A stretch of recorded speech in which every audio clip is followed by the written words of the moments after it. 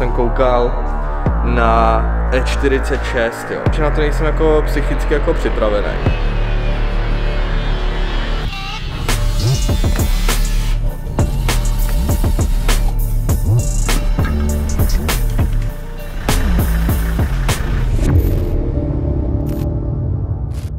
Čau párce, já vás vítám u nového videa. A dneska uh, to bude takový trošku jako neočekávaný určitě. Já tady vypnu tu diskotéku, momentík, ať z toho někdo nemá trauma. Nebo epilepťák, že jo, to je jasný. Já jsem něco provedl, no. Hele, já jsem teda uh, i koukal jakoby na zpětnou vazbu od vás, už jste to psali dřív, že byste chtěli něco jiného než tadyhle ty auta, jako je Porsche. Eh, ten Multivan docela si myslím, že vás to baví, ale uh, že byste chtěli jako návrat k tomu garážnictví, jo, k tomu kutilství takovému. Uh, já jsem teda něco málo dělal s tím Renskem, ale to prostě mě to nebavilo, jako, protože to auto jako vůbec pro mě jako nemělo nějaký smysl, jo, ve finále. Volvo dobrý, čištění tohle, tím už vás zatěžovat nějak jako extra nebudu, to už si udělám tady na tom jako mimo kameru, to už tady bylo několikrát. Ale eh, říkal jsem si, že by nebylo špatný teda se navrátit k tomu klasickému Pimpmire, kterým to všechno tak nějak jako začalo. Vlastně moje jako já nemám rád jako slovo youtuber, jo, nebo označení jako youtuber, když to tak asi jako je, ale youtuberská jako moje skromná kariéra, jo. Takže jsem si říkal, že bych eh, pořídil něco jako takového na tadyhle ty kutilský jako věci, jo. A, aby jsme to tím proložili vlastně toho Poršáka nebo toho Mulťáka, tak něčím jako nějaký sprejovačky, jo, a takovéhle věci prostě. Takový to, jo, garážnický prostě typický. Teda nechtěl jako už Volkswagen, už, už mě to jako nebavilo, i když vlastně, no to je jedno, už mě to jako nebavilo. B5,5 jsem nechtěl, to si myslím, že to je takový, jako už uh, u mě toho bylo moc taky. Jednu chvíli jsem koukal na, že bych chtěl jako změnu, jo, takže jsem koukal na E46, jo, BMW, řady 3. A, ale to si myslím, že ještě jako mít BMW, že na to nejsem jako psychicky jako připravený. To tam si myslím, že musíte splňovat jako určitý věci jako se týká psychiky a tak jako. A, takže jako na to ještě nejsem asi připravený. Uh, nikdy jsem to teda neměl, koukal jsem na to a oni jako to, co, já jsem měl strop jako třeba 50 tisíc za to auto dát, jo. A zase jsem chtěl, abych s tím mohl jezdit, aby to málo žralo, takže jsem koukal potom ve finále, jsem ustoupil z 2.8, protože za ty 2.8 to chtějí šílený peníze, to je třeba kilo jako za, nějakýho, za nějaký kupéčka. A pak jsem zase si říkal, že když už teda by to, bych s tím měl jako jezdit, tak nějak, tak eh, bych potřeboval jako kufr, což ta 46 v kupéčku prostě nemá. A, takže jsem jako se dostával k té motorizaci jako dvoulitrový, v té naftě, 110 kW, to jsem i jako chvilku řešil, jenomže jsem taky narazil na to, že když chcete kombíčka jako nějakýho hezkýho v nějaký výbavě, tak to je 70 a veš a to já za takovýhle krám jako nedám, jo. Uh, takže z toho jsem úplně jako ustoupil. Takže jsem začal koukat po něčem jako dostupnějším, nebo jako myslím si, že je to jako tomu jako hodně podobný a na údržbu toho auta jako stojí to 0,0 nic. To samý prý to bávo, ale jo, těžko říct. Myslím si, že to tak jako je, ale prostě přeplácet tu cenu toho auta jako vůbec nehodlám když je to takovýhle jako v uvozovkách fakt krám starý. Jsem od toho dal ruce pryč, jo. No, takže jsem koukal po něčem jiným, jo. Uh, takže jsem si dal bazoš klasicky, jo. A jel jsem.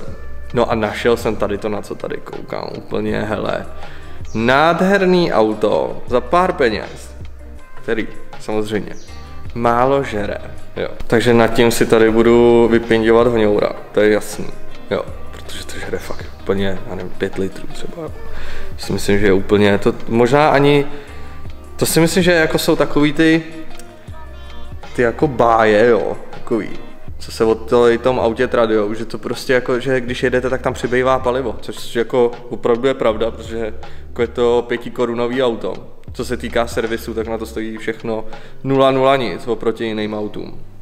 Takže Uh, už tady z toho si můžete jako vydedukovat, co by to mohlo být za vůz. Jo. Uh, je to exkluzivní vůz, exkluzivní barvě.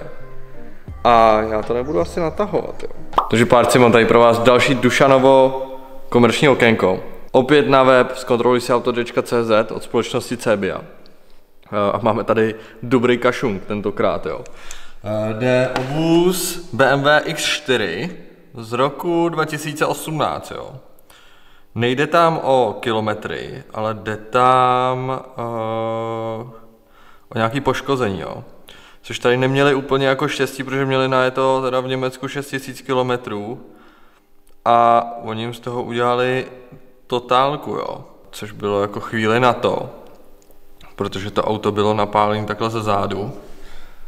Mám to tady hodím takhle. Takže tady je veškerá dokumentace k tomu tady i spodku, jaký části zakroužkovaný, které byly jako špatně. Co vám tady vyjede, tak je i cena přesná té opravy, což bylo 39 tisíc až 68 euro. A potom tady byla další ekonomická totální havárie ve 30 tisících. To bylo 2020, 11. měsíc, za 72 tisíc eur, jo. Tady to šlo úplně komplet celý přes střechu, to auto. Jo. A co je zajímavé, tak na to vypadalo, jo. To je čtyřka. Tady, o, počkat. Takže celý zmuchlaný. Jo, takže takovýhle auto by asi nikdo z nás nechtěl. Celý sloupky, jo, celý hnutý to bylo. Takže takhle. Je tady opravdu vyfocený všechno. V tomhle je ta CB teda jako skvělá, že tam jsou takovýhle dohledatelné věci a že vám to píše i přesné částky. No a potom, uh, tady je další záznam, uh, vy 39 500, uh, škoda za 108 707, jo.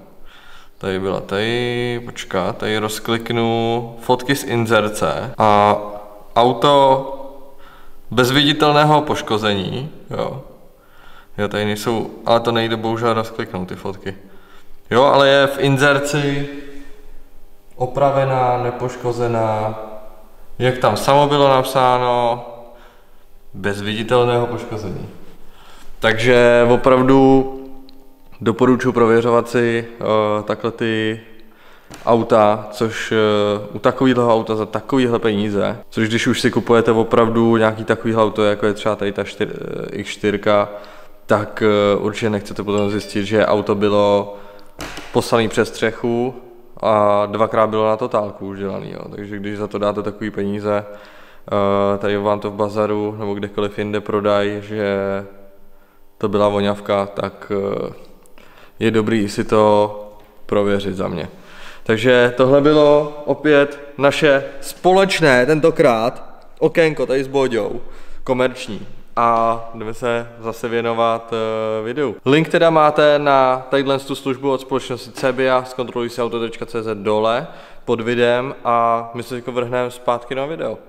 Je to tohle auto, hele, prostě modla česká, je v takovém starter packu, jo, už. Hele, a co víc? To je, asi můžu říct, za kolik jsem to koupil. Koupil jsem to za 30 tisíc korun, což je naprosto luxusní. Je to jedna devítka, 74 kW. A má to i nějakou výbavu, teda. Hele, samozřejmě můžeme si povšimnout, že v tom jezdil pejsek. Jo, ten už tady jel. Protože ten pejsek leží tamhle. Jo. Uh, takže pejska to má splněno. Jo, má to 350 na krku. Já už jsem to teda jako trochu vyčistil a takhle to nevypadalo, protože jo, já to zase mám rád čistý. Kdyby tady byl Ivan, tak nám k tomu řekne samozřejmě víc. Ale já jsem si myslel, že to je fake, jo, když jsem to viděl, že tam je nějaká řadička prostě z dvojkový oktávky nebo z ničeho. Viděl jsem tam 4x4 a 6 kvaltů, jo. Takže tomu jsem jako úplně nepřipouštěl, že by to mělo, jo. Je na tom nějaká práce, tohle, ale to pro mě bylo úplně ideální. No ale pak jsem zajížděl tady do garáže říkám, to je nějaký vysoký. Ivana, koukni se pod to. Hele, ukaž mi to. No a když se na to kouknem, takhle, já nevím, jestli to bude vidět, mám to tamhle má polosy, takže je to opravdu čtyřkolka, o tom já jsem vůbec nevěděl. Ani to nebylo v inzerátu nic. Že ona to je čtyřkolka, to jsem zjistil až dneska tady, jo. A, takže jako to je milý zjištění, protože to bude můj zimní vymítač, jo. na nějaký to takový zimní blbnutí, takže já jsem z toho ještě víc nadšený, než jsem byl předtím, že jsem to sehnal za málo. Tadyhle to chalupářský auto je úplně skvělý, jako pro mě, jo. Tady, na ty, tady na tu sérii, kterou asi pojmenuju Pimp My Ride. Prostě jsou to takovýhle auta, který lidi kupují, já to nekupuju, jo, i když jsem to teď koupil, klasicky. Uh, takže si to nějak obejde. Shagen to není, jo, ale samozřejmě kdybych měl měřák, tak to tady obejdu, ale nepotřebuji měři, měřák, nepotřebuji to ani otírat jako hadrem, protože tady vidím, že je tady přechod, tady rozstřih, takže to bylo lakovaný. Jo, myslím si, že to bylo lakovaný úplně celý. A to mi vůbec nevadí, jo. Za ty peníze, hele, co by člověk čekal, že jo. Takže uh, má to nějaký neduhy, jo. Jaro už je za náma, takže to trošku vykvetlo. To je jasný. Jo, tady nějaký ten předek, jo, tady něco bylo na předku, tady, jo, ale takhle to obejde. Tady to trošku nesedí, no ale hele, za ty peníze, nádhera. Jo. Co ten pejsek tady luxusní? Co? Líbí se ti to? Jo, no ty jsi dobrý pejsek, ježiši, to je krása. No, takže takhle, hele, nejde tam otevírat kufr, na to se kouknem. Já jsem vypustil teda úplně takový ty No to nejde asi ani otevřít tady vepředu, sakra. Hele, vypustil jsem ty nasekaný placi. Jo, abych jel někam do Aček nebo nikam. Třeba ono to fakt nejde otevřít. Tak. Tak to bude zajímavý tohle, hele, počkej, to tady. Jo, jo, jo, už to má, ale počkej, já se vás tady budu muset někam položit. Zase položím tady. Hele. A to jde blbě.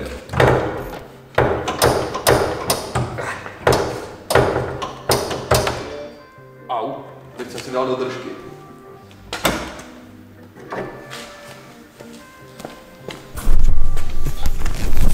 Modla. Jo, hele, nová baterka. Myslím si, že takový to zlatý trio to nebude, jo. Bohužel. Kuna tady neřádila. Pejsek tam byl teda. To je jasný. Aha, Glšáden to není. Takže jsem říkal, že od toho ruce pryč dávat rozhodně nebudu. A my si tu nádheru nakopneme, jo. Hele. Počkej, koukneme se na nějaký ty... Ty, počkej, hele, tady to nakopnu. Počkej, to mám kvalt, aby jsme neposkočili, hele. Žhavič. Něco tam málo svítí.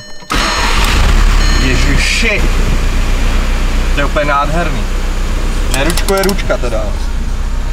Rádio už jsem si sem dal svít, abych mohl tu dělat. No. takže na to tady trošku svítí. Ty dveře svítí furt, tam je špatný zámek. Ale to si všechno ukážem. Hele a No a tady nám trošku něco jako, tady nám něco trošku jako škrundá. Ivane, pojď sem, pojď se naučit ten zvuk. Hele, to je on, to je on. Škrundá to tady. Ale to se dá všechno vyřešit. Takže myslím si, že to bude nějaká napínací kladka nebo něco takového. To všechno. Silem bloček na motoru bude chtít udělat, uh, protože to do toho mlátí trošku jako. A vibruje to s celým autem. Jo, když si šáhnu tady na ty dveře. Luxusní. Tak něco málo tam vibruje, no. Tady jo, byla sedačka. Vevnitř, jako si myslím nádhera. Kdyby na, já to chcípnu, ať se tady neudusím, jo. Ježiš, to je nádhera. Ježiši. Kdyby náhodou někdo měl tříramený volant, jo, s báglem, koupím. To samý, kdyby někdo měl RSový nárazník, tak koupím, jo. Uh, Xenony tam dávat nebudu, to je blbost, to vůbec na to, to si ukážu nějaký rozloštění, tady je tohle to.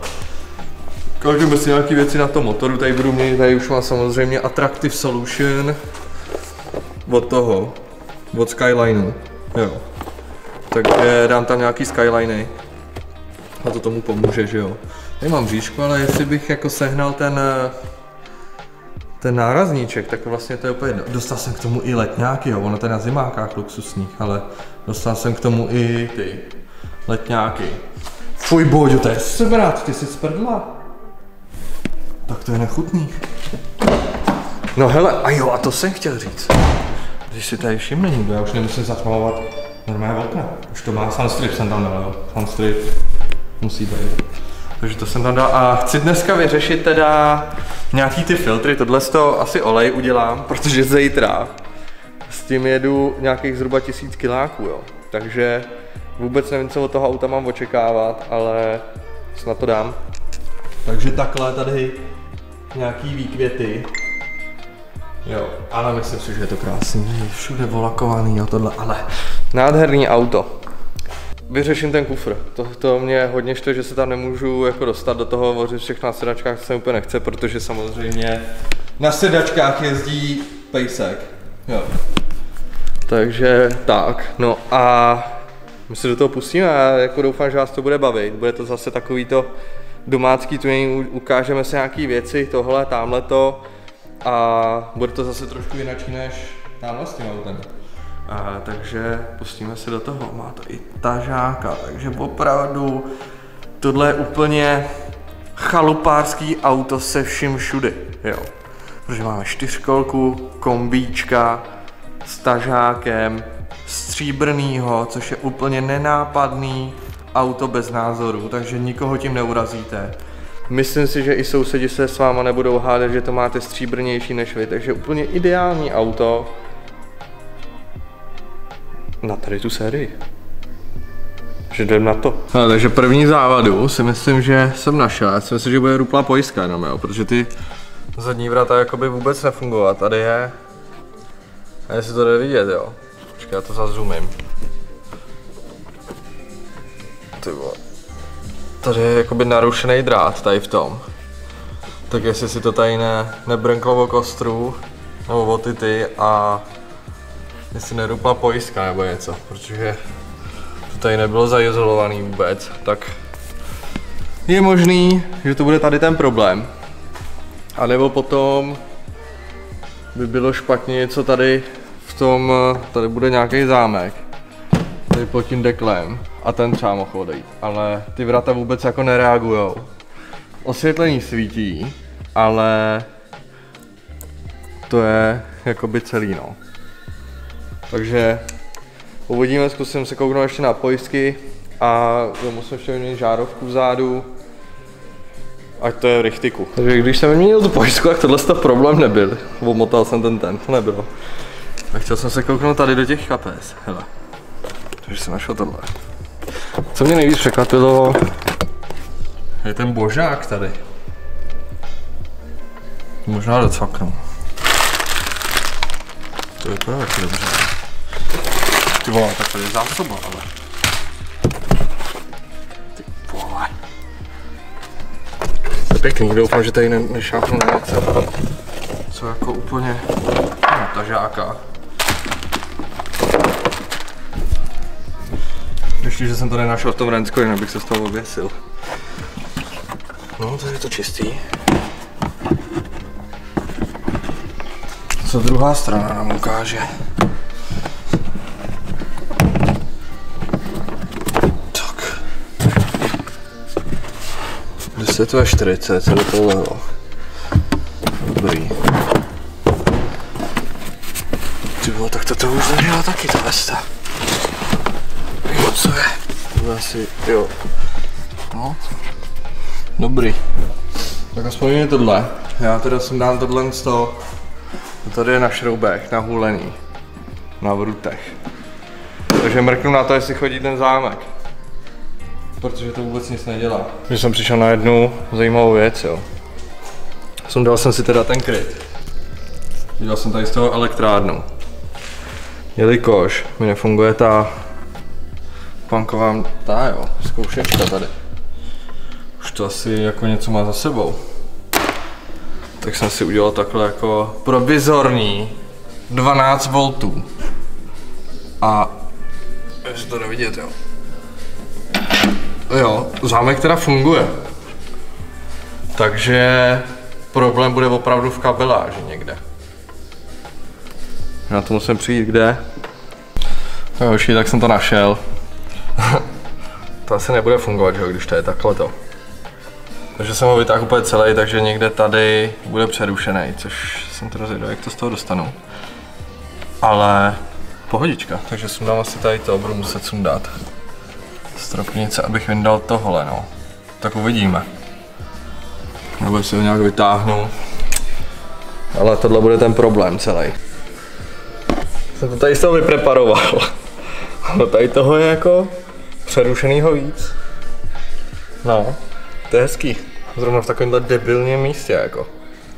Takže já to budu muset nastavit, takže fakt budu muset sundat asi tady ty plasty, abych je nastavil. Pak je prodlíknutím tím a mohlo by to být OK, no. Aby to bylo pořádně, teda. Boďo. Tak jsme to opravili, člověče. Okamžik pravdy.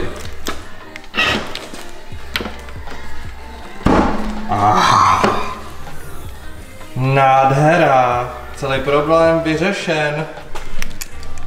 Mega šťastný, že konečně můžu líst do kufru jak býtlej. A Ježíš, tak to je paráda, že to funguje, já jsem nemá šťastný. To je ale nádherný. Že jo? Co ty nádherný pejsku, kde jsi tady vzal? Krásný pejsek, ježiši. Až mi double high five. Ty, ty to umíš, ty jsi tak dobrý pes. Sedni. Pat. Ty vole. Ty žeru normálně, fakt že jo. Tady jako musím ocenit jako skvělý nápad kutila českýho. Který mi to napade. Tadyhle ty bruty, to mě hodně jako bere. To je fakt dobrý.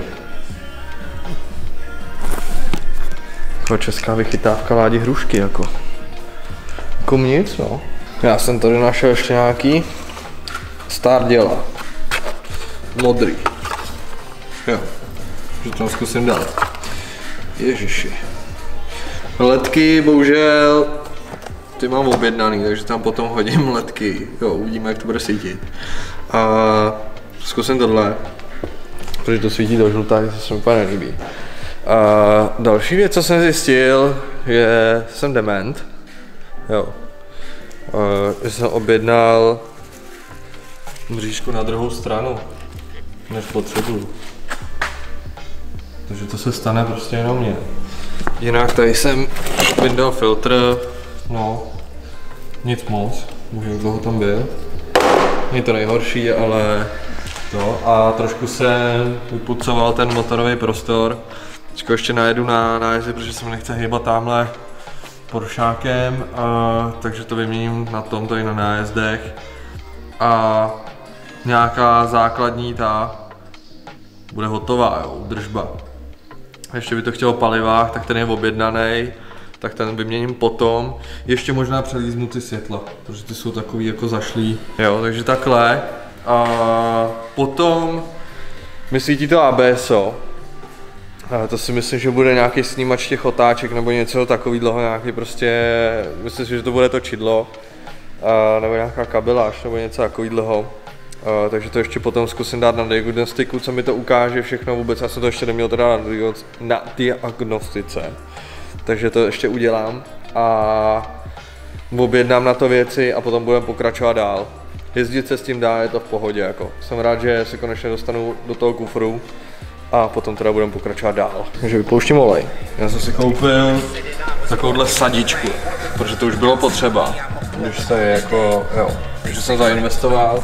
Jsem možná říkal minule, jo, ale už ji mám delší dobu, ale nevím. Každopádně investice dobrá. Takže filtříček povolený, Jo. Olejček už vytek. No našel jsem tady ve skladových zásobách jako 10 v 40 likváče. 10 40 tam byla litá, takže tam hodně specifikace sedí samozřejmě. Zítra mě s tím čeká teda tisíc kiláků, takže jsem na to zvědavý, jak to dá. To bude něco. Takže teďko to tady dodělám a bude to fešák. Bude mít to nejlepší. Takže auto mám jako jakž tož připravený až teda na ty světla. A tam tak nějak všechno, jo, a ještě jsem nestihl teda navíc kábel k antiradaru, takže to udělám normálně do zapalovače, zatím hout, nevím, to budu muset střídat s telefonem, nevím, nebo hodím do telef- telefon do kufru. Ale tak to si tam potom navedu, to musím udělat i na Poršáku stejně, takže uh, tak nějak je to ready teda. Výměna oleje, ten se bude velit, hele, ten motor. Jo. Tak parce, já nevím, jestli to ukončím, tohle video. uh, takový uvítací jako o, nebo seznamovací, ne uvítací, ale seznamovací o mojí nové oktávěnce, o té fešandě, jo. Uh, já jsem zjistil ještě pár jako věcí, které jsou potřeba udělat. Takže to bychom si udělali asi v dalším videu. A já jsem s ní teďko teda jel tisíc kiláků, jo, a úplně bez problémů, úplně skvělý auto. Spotřeba krásná, jo, to si tady budu pindit hoňoura, jak už jsem to říkal. A samozřejmě Boďovi se to taky velice líbí, to auto. Jo, takže já tady ještě jsem přišel na pár věcí, co se teda musí udělat, já už jsem to i napíchnul na diagnostiku, to si ukážeme asi příště. E, někdo to vohcal zase, že jo? No, to je jasný, Boďo. To je přece jasný úplně. No a objednal jsem tady, děkuju Mírovi, tady nějaký věci teda ještě, eh, co jsou potřeba vyměnit, tady nějaký silent bločky, jo, zámek, dveří u řidiče, takže Míra opět kouzel, jo, takže to tady všechno mám. A já nevím, kdy to vyjde, jo, možná už to bylo. Přijďte na event, co děláme. S kahou ne, neverštoku, jo. Takhle, krásný. Uh, takže pokavať, je to 25.6.